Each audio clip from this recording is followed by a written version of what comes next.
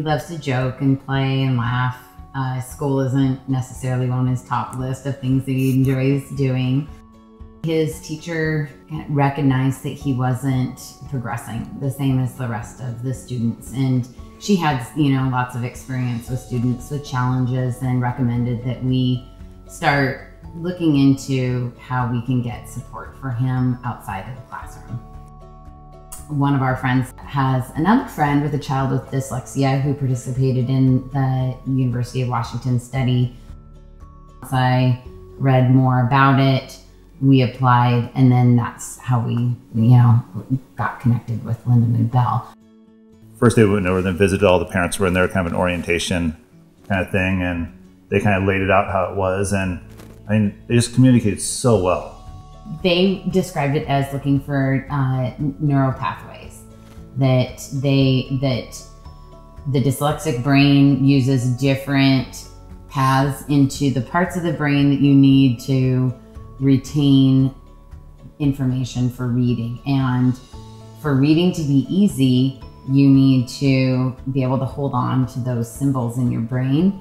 And before the study, if if Kai was reading a book and it had the word cat on the first page, and then that word was repeated, he would have to literally sound out the word the next time he saw it, and the next time he saw it, and the next time he saw it. And so his brain was working really hard every time he had to read because it was cat every time. We had four different study visits with an MRI. Um, we then did an evaluation at Lindamood Bell and uh, learned even more about the Seeing Stars program, and um, that was also helpful. With the air writing and other you know, ways of retaining those symbols and images in his brain, it became automatic. So it wasn't work anymore because of the neural pathways that he built.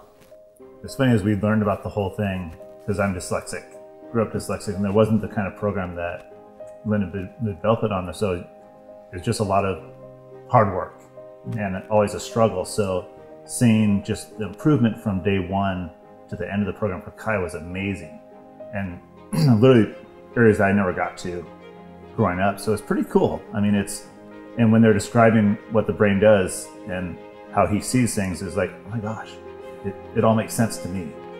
Um, we knew that Kai had really accomplished a big um, commitment and, and big effort. So we wanted to celebrate that.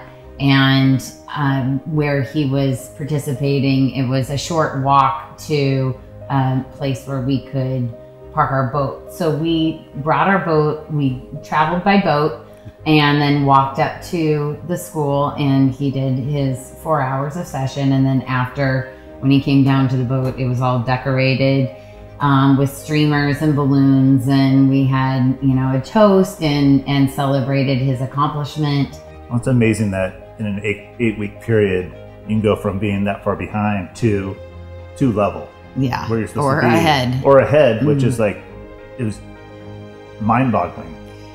We scheduled a meeting for him to sit down with his teacher and um, two of the special ed teachers and go through this is the new Kai.